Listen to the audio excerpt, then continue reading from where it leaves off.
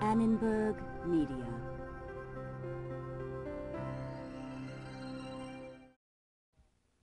Sometimes, as we go through life, we master our experiences.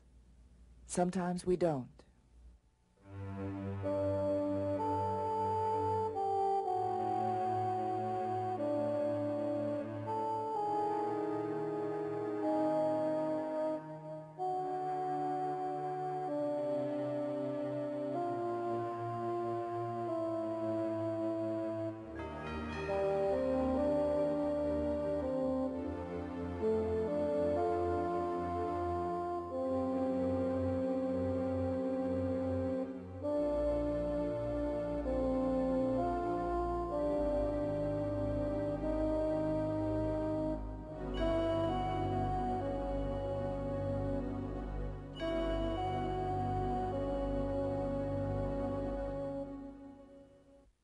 I wasn't worthy to live.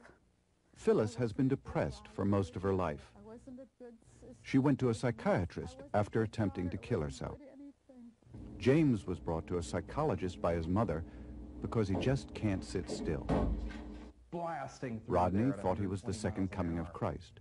I Laverne suffered so much from anxiety, I could she couldn't leave her house. Uh, Larry's ability to speak and think clearly is being destroyed by a disease. And Jessica was brought to a psychiatric emergency room when a voice she was hearing told her to kill her baby. All of these people suffer serious psychological problems. All of them came or were brought to professionals for psychological help. This help begins in a process called assessment. Could you tell me what brought you to the hospital?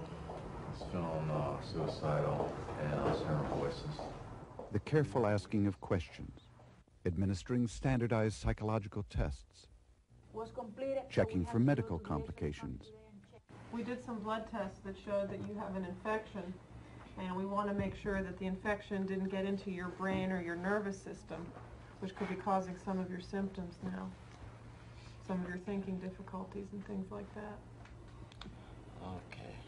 and careful listening to differentiate between those who, like most of us, need just a little support to get on with our lives, and those who may need major psychological help. I think that the team wants to know why you came here, just briefly. I know that you came a week ago, and uh, we want to know what happened, that you just came in, or they Well, brought you in.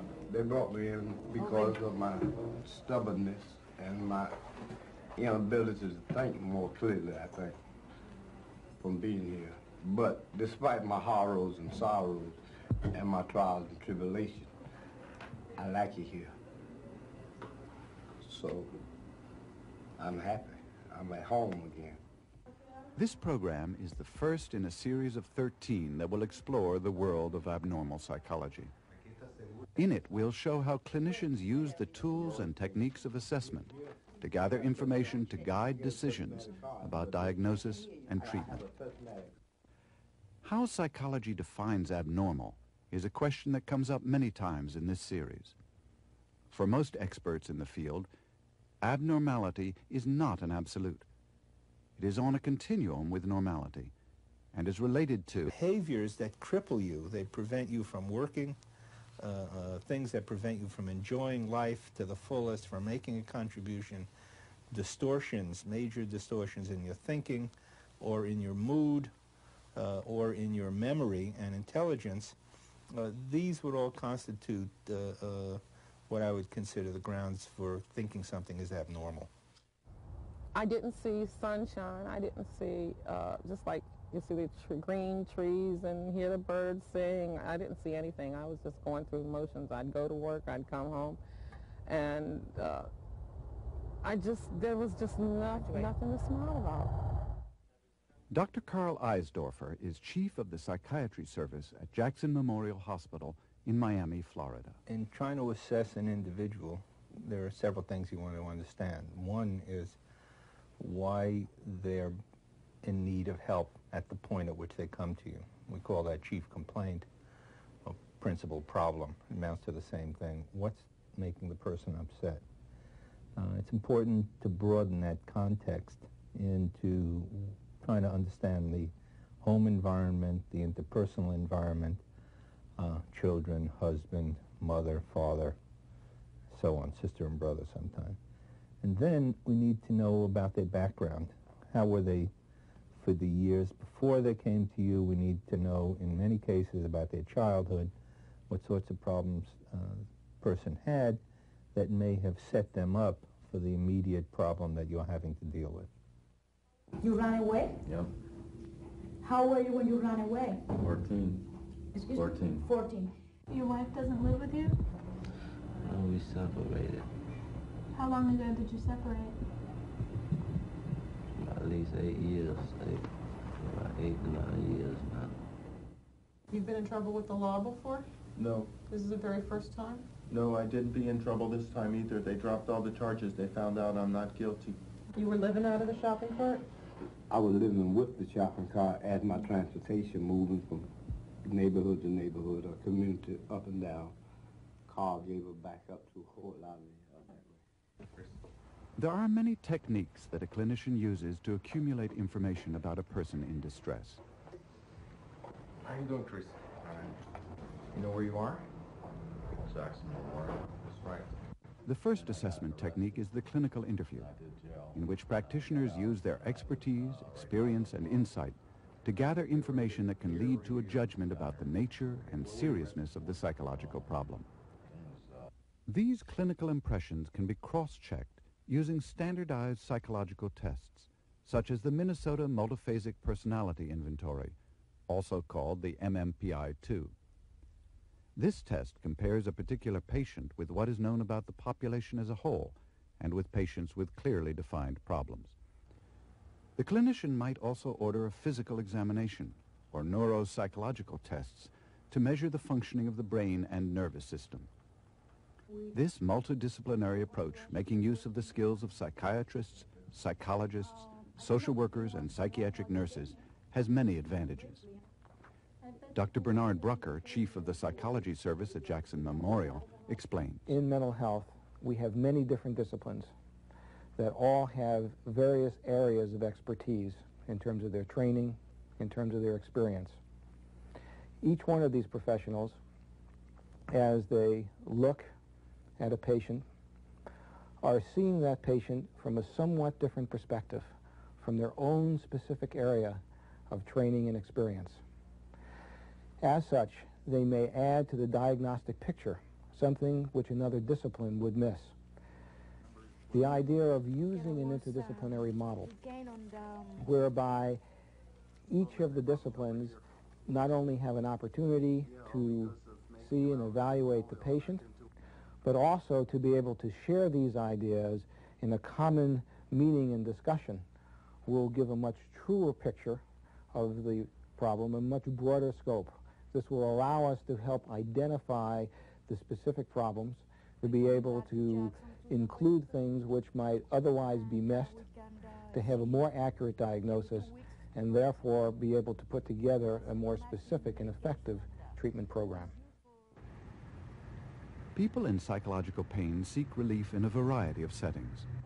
Most often they go to community mental health clinics or the private offices of psychiatrists, psychologists, and social workers. Sometimes, however, people require emergency treatment. Uh, you, you, you mumbled to me earlier that you wanted to die. Yeah, I felt suicidal to stop all this.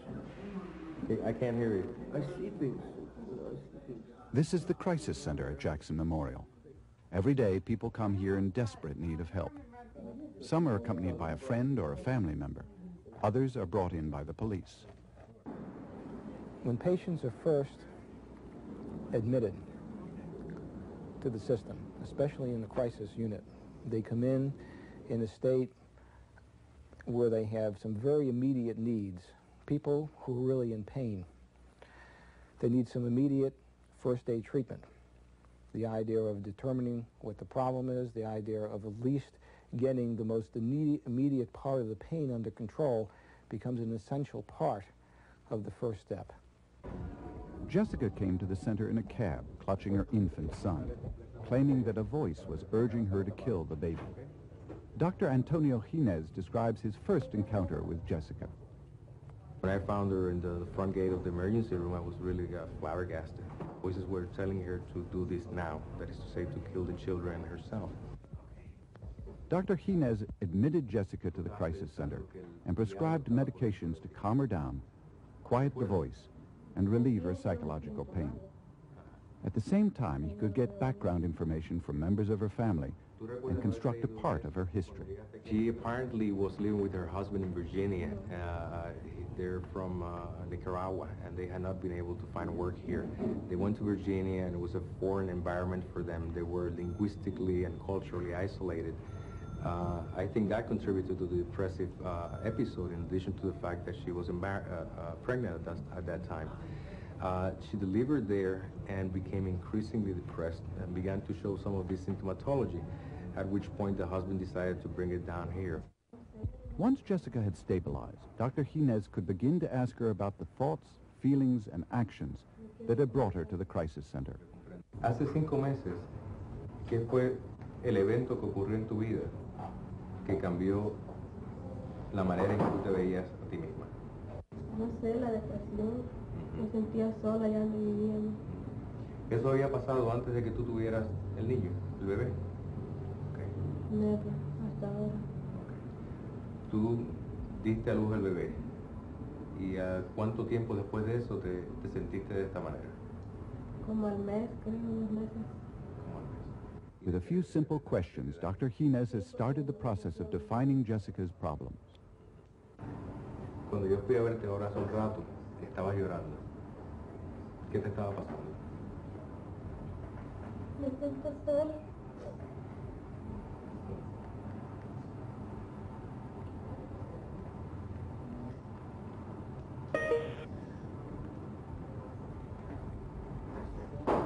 Me parece que nunca me voy a curar.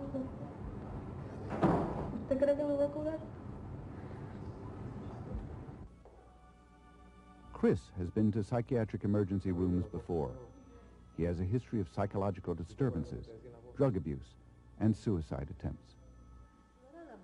Could you tell me what brought you to the hospital? I was feeling uh, suicidal, and I was hearing voices.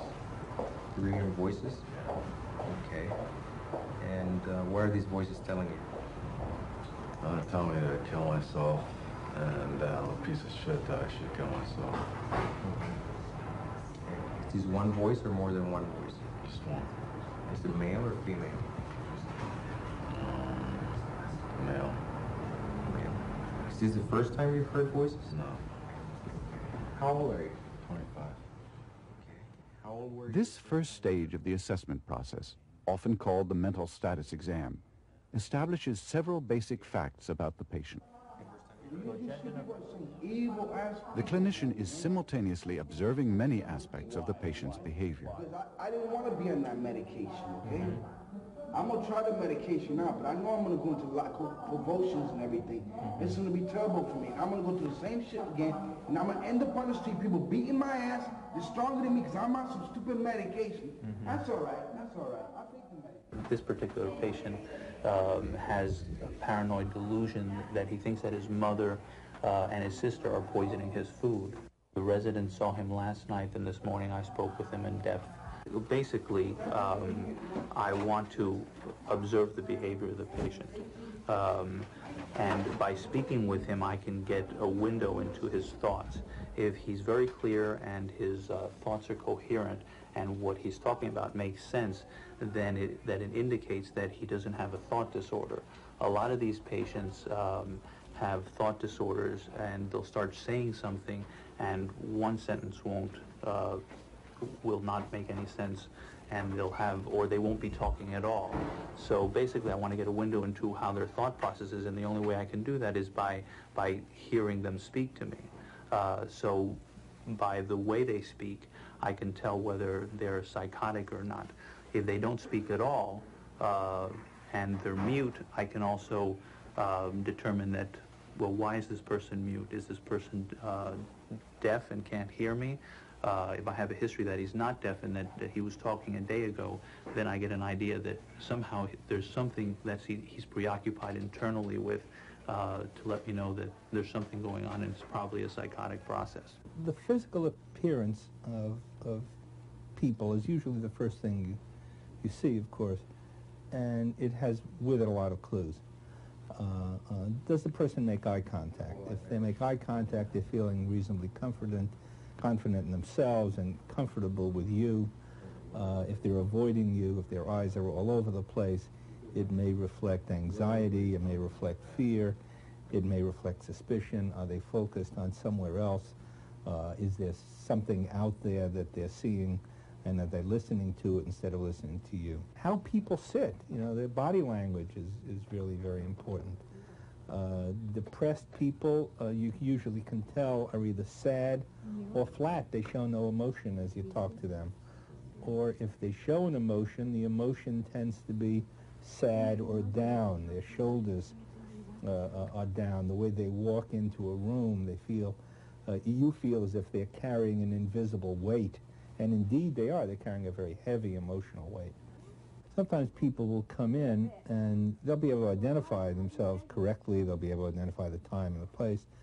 But they will be so offbeat in terms of their perception of, uh, of the rest of the world, where they have a distorted sense of whom they are. I was talking to Jehovah and I said to Jehovah God, please um, make sure that I that you prevent all crime because Jehovah let me know that he had prevented all crime and that with him you could be white as snow with no sins and no guilt. What were you doing with the knife, though? Sometimes people will come in and give you experiences that you think are unlikely to have occurred uh, in the form of hallucinations. Uh, they will smell things, they will see things, they will hear things. Uh, sometimes they'll hear them or see them or smell them in your presence, and you're pretty sure that they don't exist. But you know, Ice Age, Stone Age, and all these people are still in the world too, so we're fighting against the Ice Age, and the Ice Age is fighting against the Stone Age, and the Bible is fighting against Moses, and Moses' theory is fighting against Jesus, and, you know. As can be seen, this process of assessment is not a simple one. Whether in a private or clinic setting, the clinician is always listening for clues to the nature and severity of the problem. One of my favorite mottos is, when in doubt, shut up. Listen to the patient. Let the patient use her or his own words. How do they express themselves? Sometimes it's perfectly okay not to talk, not to ask questions. See what it is that the patient has that's bothersome enough to come to the surface. And the patient will very often tell you, particularly if they believe that you want to hear. Uh, if you're in such a rush that you're going to ask questions, you know, by the numbers, the patient will wait, and if you hit the right question, they'll give you an answer, and if you don't get the right question, then you're going to miss that, and you'll never get the flow of, of the patient. And it, it's almost a feeling that, uh, uh, that one gets for the kind of person uh, uh, uh that you're trying to listen to. When assessing a person, the initial interview is of critical importance. To see one in greater depth, we asked Dr. Eisdorfer to demonstrate a first interview with a colleague taking the role of the patient. It's based on an actual case. Could you tell me why you came to see me today? I just cry all the time. Mm-hmm. I cry all the time. I don't know what's the matter. I just cry. About how long has this been going on? About three or four months, I think. Mm-hmm. And apart from crying, what else has been happening?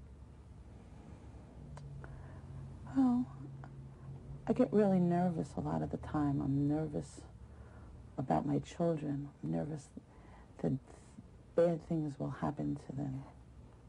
I don't cry a lot in front of the children, but I cry a lot when they're not there. Mm-hmm. And I worry all the time. I worry that something will happen to them. They'll get hurt. I won't be there when they need me. That I won't have taught them what they need to know. Mm-hmm. What sort of things might harm them? I'm never sure exactly, but they can fall down. They could get run over. Bad things happen all the time to mm-hmm. people. You ever thought that you might do something accidentally to hurt them? Clearly she was in a depressed mood. Uh, she said she was crying. She said she was sad. Said she was lonely. And uh, what we did at the beginning was to explore the breadth and to a certain extent the depth of that mood problem. So you've never had an impulse to No. hurt them? To hurt them, no. Was this a first depression? Uh, uh, how serious was the depression? Was it uh, sadness? Was the sadness appropriate to her situation?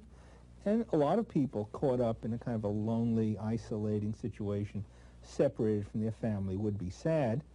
But the question in Barbara's case is, did the sadness transcend the situation in which she found herself? That's a very important question. You ever get the feeling sometimes, that, you know, life is hardly worth living? I think I think that if I didn't have children, Mm-hmm. then You I think, think what that terrible you didn't have- pressure this is on my children. Sure. I mean, if they're all, if they're the only thing in my life that has any meaning, it has to be bad You think they might be better off without you? sometimes. Mm-hmm. You ever think about doing away with yourself? It is important for the clinician to establish early on the potential for the patient to cause harm to others or to herself. Sometimes. Mm-hmm. When was the last time you had that feeling?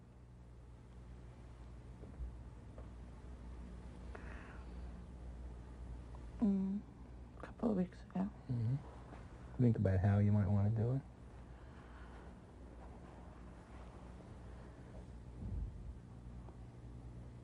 I thought about slashing my wrists. Mm-hmm. Mm. Seeing the blood. Yeah, I couldn't do it. couldn't do it. Why not?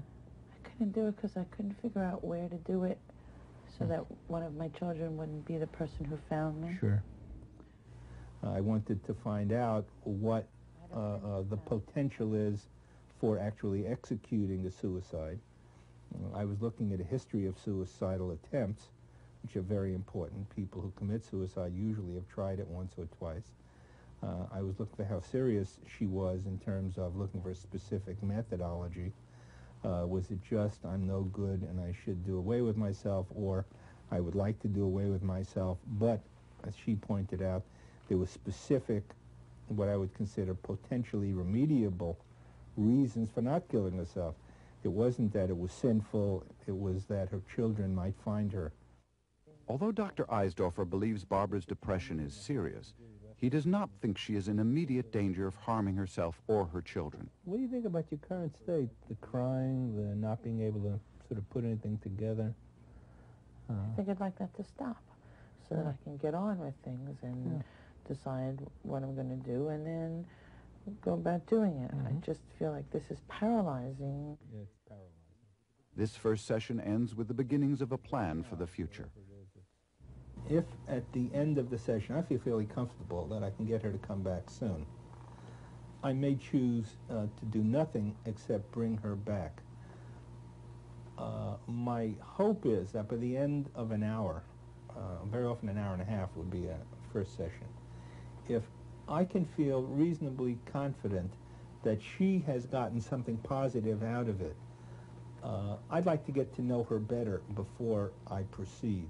He says the um, auditory hallucinations have decreased in intensity, though they are still Time to get to know the patient better is usually not an option for the doctor in the crisis center. And often, as in Chris's case, the picture presented in that first examination is inconsistent and complex. Yeah, he's- he'll tell you that he, he wants to kill himself and then, and smile. And then he smiles. So yeah. there's a, there's a bizarre quality about him. But his behavior is much better. Because of this, Dr. Jinez admitted Chris to an inpatient unit for further evaluation by the multidisciplinary team. The team, headed by psychiatrist Mercedes Gonzalez Blanco, will conduct a complete and thorough assessment, combining the observations of the psychiatric nurses, social worker, psychologists, and psychiatrists. Uh, I would like to know what happened that they brought you here. I was uh, hearing voices and feeling suicidal. And I went to uh, my outpatient clinic. And I told them that I think I better go to the hospital for a little bit. For how long were you hearing voices? Just for a few minutes or just? I've been on and off for about a couple weeks. The purpose of the intake is to really understand what brought the patient to the hospital, what the symptoms were that preceded the admission, and to determine what their psychiatric illness is, if any. When you were hearing the voices, you were hearing the voices all day long or just for a short period of time? Short periods of time. Okay, they used to come, talk to you, Yeah, and then stop. and gone. Okay. For how long have you been hearing voices? Um, seven, eight years. Seven or eight years. Yeah. So you were very young when you were starting hearing voices. Yeah, I was about 18, 17. So you were very young, around 17 when you became hallucinating. Usually we begin by getting a complete history, which includes the chief complaint, why the patient thought they came to the hospital. They may not be able to tell us. It may be that they were brought by the police or they're too psychotic to tell us. Then we review the history of the present illness, which are the events over the preceding weeks or months that led up to the admission. Then we review the past psychiatric history to see what their prior diagnosis was or what their prior psychiatric experiences were, um, along with any contributing medical problems, social history, developmental history. What made you come down to Miami? Over the next hour and a half, Dr. Blanco and her team will begin to piece together a picture of Chris's life. They ask about his school experience, his friends, whether he's had trouble with the law, and about suicide. So you have tried, how many times you have tried to do that? A couple times. A Couple of times. How you have done it? Tried to hang myself, and uh, I jumped off the bridge up in the air. Were you hospitalized then? Was I being hospitalized? When you tried to do that? When I did that, I uh, went to a rehab. Rehab. Yeah, drug rehab, so I was doing drugs. So when you were 17 and you tried to hang yourself, you were using drugs, street drugs. Um, and you went to a rehab center. Right. For how long were you? As a foster child all his life, Chris's teenage years were particularly troubled. He moved in and out of drug rehabilitation centers and mental institutions. These episodes began to occur after he was put up for adoption at the age of 12. And uh, um, do you have parents or adopted parents that I got raised you? adopted parents, yeah. I Do don't you- live with them, though. You I- didn't live with them. How I come? Because I didn't like it. I didn't like them. You ran away? Yep. How were you when you ran away? 14. Excuse me? 14. 14. So for 12 years you were living with your foster parents. hmm What happened that uh, they, they gave you away at the age of 12? Because very... So I was up for adoption, I guess. I really don't know. How do you feel about it? Because, you know, after being for 12 years with the same family, can you share that with us? They treat you well? No. Tell me. Tell me what... Uh, my father used to beat me and my brother a little bit. And uh, I didn't like that. if I ask you to describe yourself, how you would describe yourself?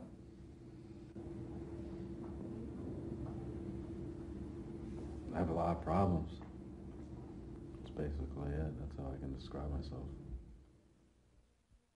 Okay, I want to hear from the team what the, what they think or, or what they suspected from the clinical point of view uh, about this uh, particular patient.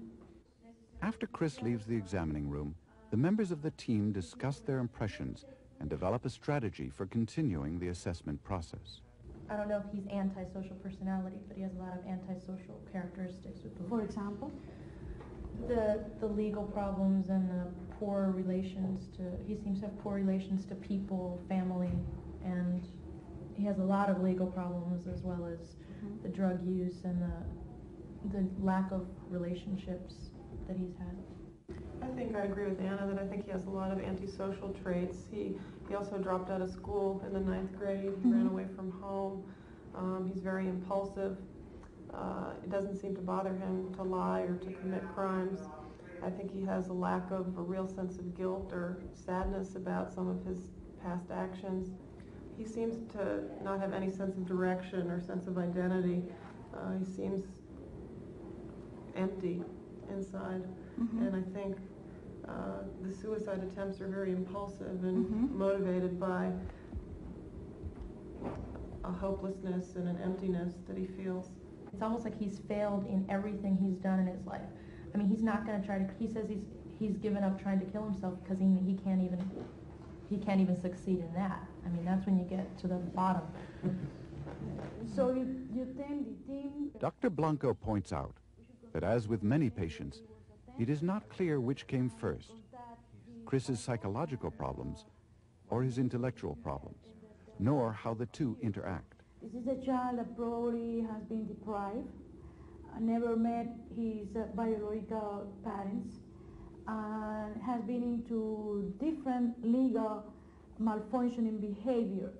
Uh, history of uh, functioning very poorly in school. He, uh, he was a slow learner. Uh, question mark, this uh, slow learner uh, patient or child was the poor the poor performance in school was related to low IQ or was related to his emotional condition. Sometimes children, when they are in school, they don't perform well because they are anxious or they are depressed. Okay? But that he has Another concern of the team is that several times Chris's responses seem incongruous or inappropriate. And I think that when, when I was interviewing him, I made a comment that he was talking about suicide, he was talking about jumping from the uh, bridge and thinking about suicide, and he smiled. I would, I would consider that a smile inappropriate. I don't know if you agree with me or not, but I will speculate that uh, this individual has been depressed. And uh, he has been depressed for a long time. And uh, we know that some, some, uh, some patients, when some people, when they get depressed, they get into uh, drugs and they get into alcohol and uh, different drug usage, usage. And I think that this young man has been depressed, deprived all his life. Although Chris seemed to answer all the team's questions, they are not sure that his answers are reliable. There are several other sources of information available, and the team will try to make use of them. What we need to do is really get more background from other people on him. We're going to call his uncle to see what his perception of Mr. Stanton's functioning has been like. We're going to try and get in touch with the court system and see whether there are any outstanding charges. We're going to assess his behavior on the unit and see how he gets along with the other patients, whether any of the other staff members pick up anything unusual about him, whether he's observed to be hallucinating or talking about hallucinations, whether he does any self-mutilating types of behavior, whether he's really a danger to himself. And in addition, we'll probably do psychological testing. The uh, mental health professionals that work with uh, individuals uh, that are experiencing emotional problems uh, come from uh, fairly diverse uh, training backgrounds and, and uh, uh, have different roles in the mental health uh, treatment process. Uh, let me just mention uh, four types of professions that get involved in the mental health. Dr. James Butcher is a professor of psychology at the University of Minnesota. And that is in hospitals or clinics you will generally find psychiatric nurses, uh, would be uh, working with clients. These are um, uh, individuals who are trained in nursing but have further specialization in the area of dealing with emotional problems. Find that you'll have a lot fewer incidents running into problems with people. Take your medication, keep your appointments. Uh, similarly, psychiatric social workers, these would be individuals who are uh, trained to deal uh, specifically with um, individuals experiencing emotional problems. And one of the important things that social workers bring to the mental health uh, setting is uh, be able, being able to um, appraise and, and uh, do a, a very uh, thorough social background history. I kind of look at the people who are referred to us, and when I begin to interview them, I want to know um, basically how they get along with others, um, uh, what they begin to perceive as the reason for the difficulties that they're having. Social workers um, tend to look at the individual from how he or she functions as a, an entity in the social world, in, in the world in which we live. And so they may not be as attuned uh, to looking or thinking about a physical basis for the problems that the individuals incurred. The two other professionals that you would find in a mental health setting would be psychologists, uh, would be uh, largely uh, responsible for the psychological evaluations, uh, use of psychological tests in trying to bring about a, a clear picture of the individual's problems. It looks like a chess piece, not that they're on a chess No, Okay. two, two separate chess pieces. And then there's also two silhouettes in the center, human-like. And also the psychologist would probably be involved in some aspect of the treatment of the individual. The last uh, professional that I will uh, mention is uh, a psychiatrist, have medical training, uh, have usually, they have graduated from a uh, medical school and uh, have obtained a residency beyond the medical school and working with uh, individuals with emotional problems. Uh, in most instances, the uh, psychiatrist on the case would be involved in the medications evaluation and monitoring the, medica the medications. They might also be involved in psychological treatment as well. is I'm going to show you a test that requires that you use only your right hand Uh-huh. And to put these steel pegs into these slots like so. Okay? As we pointed out, as part of the process of trying to understand and appraise the patient's personality, symptoms, and functioning, the clinician may order standardized psychological tests. Dr. Jay Weinstein is the neuropsychologist on the multidisciplinary team at Jackson Memorial. Many of these tests, and certainly all the tests that I administered, are tests that are standardized. They are widely used uh, within the uh, profession of clinical psychology.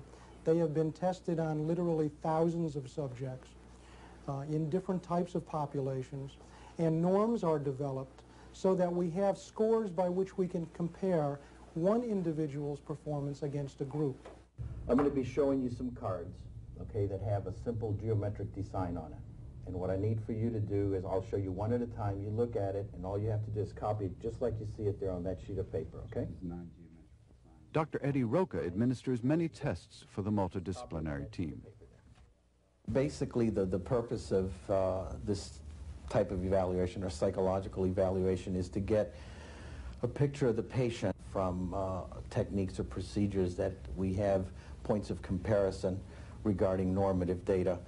Uh, so basically, one of the, uh, I guess the rule of thumb here is that we're at least trying to make some attempt at look at the patient in a more objective uh, manner versus just a strict clinical uh, picture of the patient, even though obviously the two are important in, in determining diagnosis and uh, looking for those areas that may be of conflict or difficulty for the patient. Therefore, the tests allow us, in a sense, if I could make the analogy of maybe kind of a psychological x-ray, uh, if you will, uh, to allow us just to see maybe a little bit more that we don't see in a clinic, just in a straight clinical interview or an intake or a mental status exam. Dr. Blanco and, and uh, Dr. Katz wanted to do some testing, okay? Uh-huh. And what we're going to be doing is a series of different tests. This is Clifford. He has been diagnosed with chronic schizophrenia. And from this, because they want this information regarding you and what, how you're doing. Uh, so we're going to be doing several things, all right? There's, there's no question as to the fact that he suffers from, a, from schizophrenia. One of the uh, reasons for this assessment, at least a screening is basically what we're doing, is that there was some concern that there may be some brain damage uh, with Clifford, and specifically of the frontal lobes. Can you copy that one there for me? One of the things that we did with, with Clifford today was just kind of take uh, a very quick look to see if there's any things that are outstanding of any significance from an organic or brain dysfunction. We have uh, an array of, uh, of instruments or tests to utilize. The Bender Gestalt is basically a brief screening for visual motor integration, visual motor organization in a sense. An individual is asked to do nine uh, simple geometric designs. Individuals after the age of uh, 10, 11 are able to complete this task with no errors. So therefore, from that point on, any significant errors could be suggestive of visual motor deficits of some sort. if he is suffering from some frontal lobe damage, how is it affecting his functions? From what we did with him today on the Bender Gestalt, we noticed on the second and third design that, uh, which is the dots in little in line, uh, the most predominant thing that we see there is a motor perseveration, where in fact there's 11 or 12 dots. He goes 11 and motorically just keeps going. Uh, in other words, there's a, an inability to inhibit an ongoing process, uh, which is a lot of times a trademark in frontal lobe brain damage. What you have to do here is you have to connect the numbers in order. Okay, you'd be starting with number one. This is just a sample. You'd be starting with one, and you connect the line to two, to three, to four, to five, six, seven, and eight. Okay. Okay, here it says begin, and here it's the end. All right. We also gave them trails making test, which is mm-hmm. basically a test that requires visual scanning, visual motor speed. There's a complexity of functions taking place in that process. Okay, very good. All right, now, I want you to do the same thing. This is a little bit harder, all right? And what you need to do here is begin with number one, and you're going to end up with number 25. Okay. So you'd be going one. And in both of those tests, he, he scores in the uh, mild uh, range of possible brain damage. So we have some indications of that. This is important.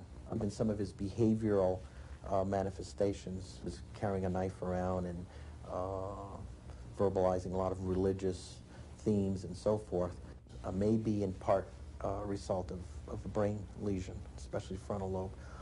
If there's a history of aggression, I don't know if there is or not, direct, overt uh, hostility, it may, it could have some uh, correlation with, with frontal lobe involvement or brain damage. So it's important to know to get a clearer picture. This is the Wechsler Adult Intelligence Scale. It has many subtests to measure verbal ability and functioning by asking simple questions. For example, how many wings does a bird have? First thing we're going to be doing is I'll be asking you some questions. And then I'll be giving you something to do, and we'll be jumping back and forth through different tests here. Okay. The purpose of the Yeah, test is to assess cognitive functioning and intelligence or intelligence quotient. And as a result of the intellectual quotient, at least statistically, it puts an individual on a continuum from either very superior intelligence uh, down all the way to the levels of profound retardation. So basically, it provides at least some estimate as to how the individual is going to fare out in society. Genesis. Okay. One of the things that we look at uh, with the Wechsler, with this, with the psychiatric population is, uh, again, since a lot of the problems are related to disturbance in thinking, uh, in a test like this, which is fairly structured, uh, affectively neutral uh, kind of test, the individual, it allows us to look at how the individual deals with a variety of cognitive uh, processes. How much does the psychiatric illness and or the anxieties and so forth influence or have a negative impact or an effect on the cognition. Besides their white. The Wechsler is also used for a comparison of visual motor abilities and verbal abilities. I'm placing a red one here, a red one there, white one here, and a half red, half white in that position, okay? Now with these four blocks, make one just like that, just the top, and tell me when you have finished. The block design is a uh, test also that is fairly sensitive to brain damage. Uh, individuals with some kind of organic brain dysfunction frequently may have difficulties on that test. Patients with psychiatric disturbances may fare fairly well on this type of test. Some who are more either acutely in a psychotic state or having considerable, uh, say, uh, floods of anxiety will probably do worse. So we have to integrate the uh, psychiatric disorder, the psychological components, uh, and, and assess that with the intellectual assessment. In other words, we can't just provide numbers and not take into consideration all the other aspects that may be influence, influencing cognition. In addition to tests of intellectual and cognitive functioning, psychologists also assess aspects of the patient's personality. Among the most widely used tests of personality is the Minnesota Multiphasic Personality Inventory, or MMPI-2. The MMPI-2 asks people to respond true or false to hundreds of different statements. Then an individual's responses are compared with those of thousands of other people, both normal and those with various psychiatric problems. Patterns of responses have been found to be characteristic of each diagnosis or personality style, and standard profiles have been developed. When people take the MMPI-2, the pattern of their answers is compared to the known patterns to create individual profiles. Okay, John, the next thing we're going to be doing is I'm going to be showing you a set of pictures that have real figures on it. And I'm going to ask you to tell me a story about what you see happening in that picture there. Tests that use pictures about which the patient is asked to tell a story, like the thematic apperception test, or TAT, are called projective techniques. To tell a story about what you think may be happening on there. That one, for example. What do you think may be going on in that story? He's confused, like he wants to play a different instrument. He wants to play music, but he doesn't want to play the violin. Projective technique is uh, any any kind of task uh, in which the individual has to project something as to what he perceives in that in that test. It provides information about the uh, about some degree of their fantasy life, their imaginative processes, uh, the richness in which they perceive the world in general. Uh, is it a very constricted kind of perception of the world, or one that is basically uh, very gloomy or depressed? Uh, so it provides a lot of information in not only from the formal scoring system, but also from the content of what's being produced in, in the process. Uh, we kind of know what bright people produce. We kind of know what depressed people produce. We kind of know what people with significant conflicts, say, for example, in, in sexual identity may produce. He wants to play music, but he doesn't want to play the violin. But his parents brought him a violin. The purpose uh, is to get to get a, just a greater in-depth uh, view of the individual. Again, assuming we're having uh, some cooperation and spontaneity in responses. Okay. Sometimes psychological tests like these show the clinician that other tests need to be performed. For example, based on the results of both the Bender Gestalt and the Trails Making test, Dr. Roca sees the possibility that Clifford may have some type of brain damage. The referral was simply to administer a number of tests to help raise the question, or maybe perhaps answer to some extent, the question of whether or not Clifford's behaviors are the result of brain dysfunction. So in this instance, we are trying to take a look at are there any dramatic signs which would suggest to us that Clifford may have had an injury to his brain at some point. That was excellent. Very good. Now, we're going to run through that uh, one more time, only this time I would like you to use just your left hand. We're going to do exactly the same thing. This is a test that compares how well he could sort and place pegs with each hand. This may indicate the part of the brain where any damage may be located. The Lafayette pegboard is a simple motor test that is a pure motor test which enables us to measure if in fact there's any difficulty with fine motor coordination in the upper extremities. In other words, how well coordinated in terms of eye-hand is the uh, patient able to perform on these tests. This test in particular is a time test, and it helps us to determine if there is weakness or disability on one side versus another side of the brain. Based on the results of these neuropsychological tests, Dr. Weinstein summarizes his findings thus far concerning Clifford.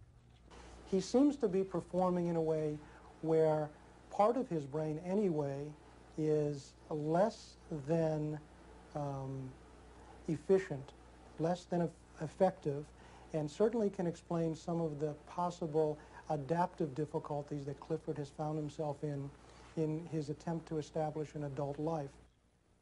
If the first question in assessment is, what brings the person here? There are two other equally important questions. What are the contributing factors that led to the disorder, and what should the treatment be? These two questions are often difficult to answer, Debate swirls around most matters involving care and treatment because there are many theories about how the disorders develop and what should be done about them. Edward Katkin is the chairman of the Department of Psychology at the State University of New York at Stony Brook. I think that there's probably reasonably good agreement that, that uh, psychologists of all persuasions, when they talk about abnormal uh, activity, the ab abnormal person, are ultimately talking about behavior.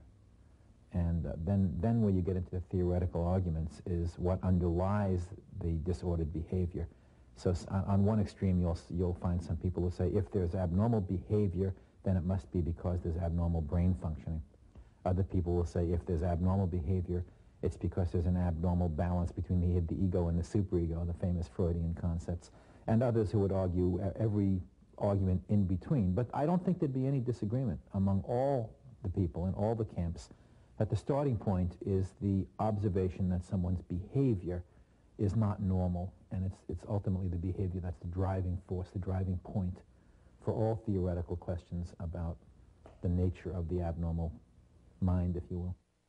There are several models for understanding behavior. Currently, the three most prominent ones are the biological, psychodynamic, and cognitive behavioral models. By showing how these models explain a disorder like depression, we will illustrate key differences between the models.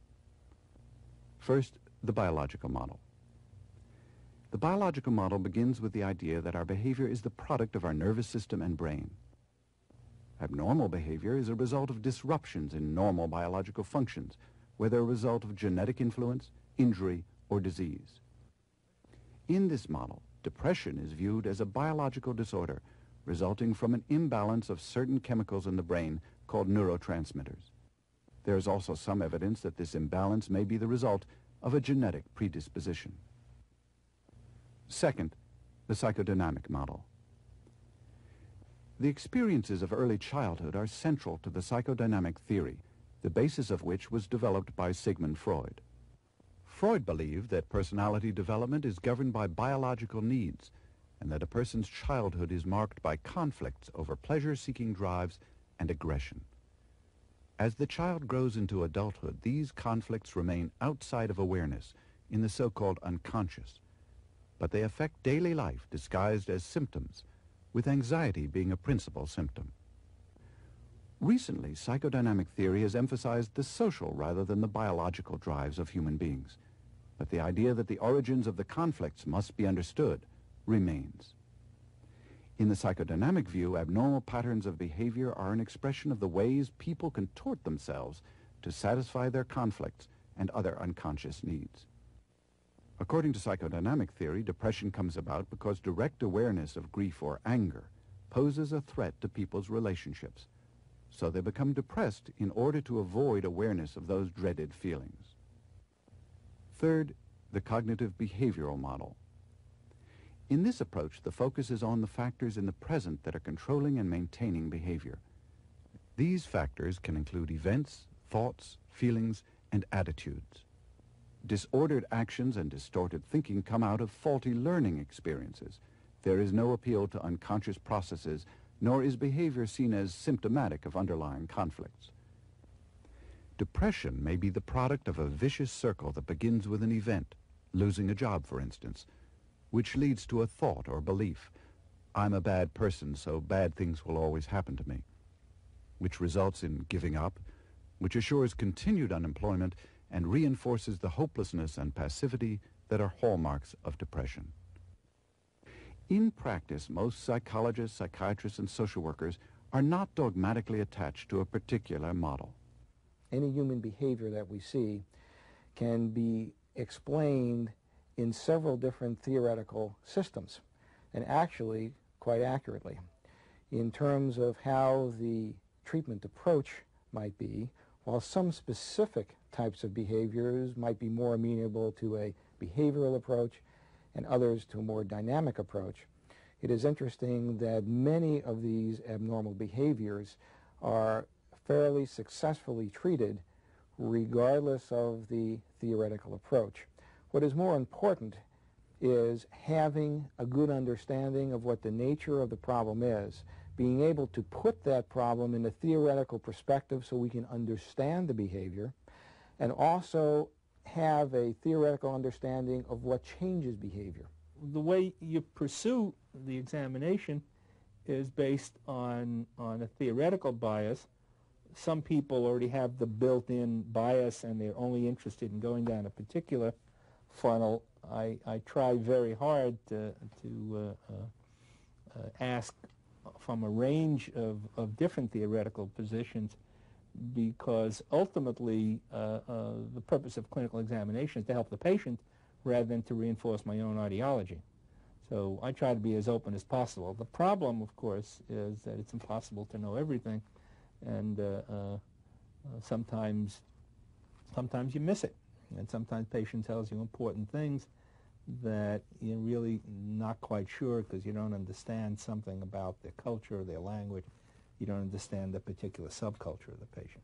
But theoretical model point of view, I tend to, to espouse what I call a biopsychosocial model. I, I think that uh, uh, uh, people's uh, uh, behavior, feelings, and so on uh, are the bringing together of biologic forces, internal psychological and behavioral forces, and social and cultural settings. More and more practitioners are coming to accept the value of this biopsychosocial model in dealing with abnormal behavior. But even so, questions concerning the cause and treatment of psychological problems persist.